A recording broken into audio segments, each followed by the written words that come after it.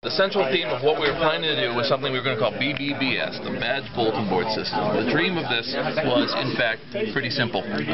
Set up something where somebody could telnet or, if optionally, dial in to the badge, leave messages, post messages, and do a whole wide other variety of features. Because of the flexibility of the bulletin board system environment, it's now possible to communicate through it through a whole bunch of ways as long as you function like an old school BBS. Right. So the key is to utilize the, set, the serial output to do that work. So the model we came up with was going from anywhere, utilizing software, which I'll, we'll show you in a moment, called the BBS Server Bridge, and then connecting to the badge with the BBS, and then the badge itself would have a series of additional items. For instance, this peripheral, which is the SD card, would allow us to have one gigabyte of storage on it. Um, we had other additions like a speaker and so on that were going to come on later, but first we were working on the SD card prototype. So, features that we would have would be G files that you'd have on the SD card. So, because you had a gig, you could do a whole bunch of things. Right. Um, again, read and post messages, which you would expect. A speaker attachment, we would do audio generation. You can't really do MP3 files, but the idea is that it would ring when somebody called it and make a hang-up noise. Um, using the flashing LED for all sorts of things. So when you type, it would blink a little bit. Um, if a person was writing, it would go red, and otherwise it was blue, so you'd know by glancing at it what was going on on the BBS at any given time. The users could also change the color of the LED. That way they could type in the values and change it because that was their big interface to affect it. Possibly the addition of a second serial for both and adding, but we weren't sure where, where that was going to go with that.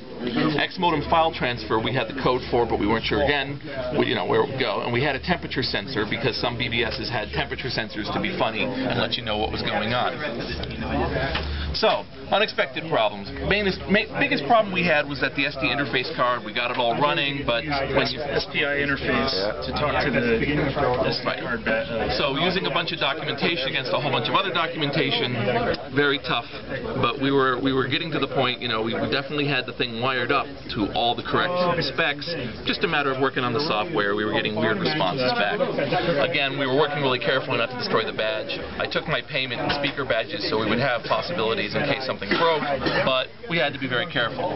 The bootstrap white with that stupid define thing where it wasn't default set in the example code, that surprised us.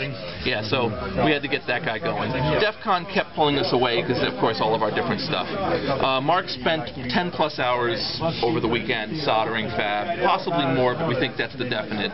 Bunch of bunch of marathon sessions to make sure everything worked bit. And most surprisingly, we would keep killing the battery because we would, of course, be interfacing with it. Optimized Right. yet. Right, exactly. So what works? Right now, the badge doesn't crash. We don't, code is there. The LED can be changed, however, it only does it for a moment. We didn't keep it going. Um, it will auto modem answer. We'll demonstrate this. It will answer a ring. It will provide us a, a menu. Uh, the content is ready to go in terms of I had a, like I said, that opening screen. We had a menu with shout outs and everything else. And the badge can continue to be worked on. We did not brick it and turn it into an unstable thing.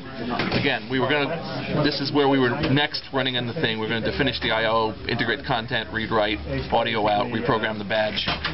We, we, we were looking into this to pre-program it into a modem. The designer suggested to us that it was a bad idea. He said that the implementation was such that it might not work as well as expected, and they couldn't really fully do the specs, so we stepped back from that. But in theory, with experimentation, we might be able to get it to get rid of the modem part entirely.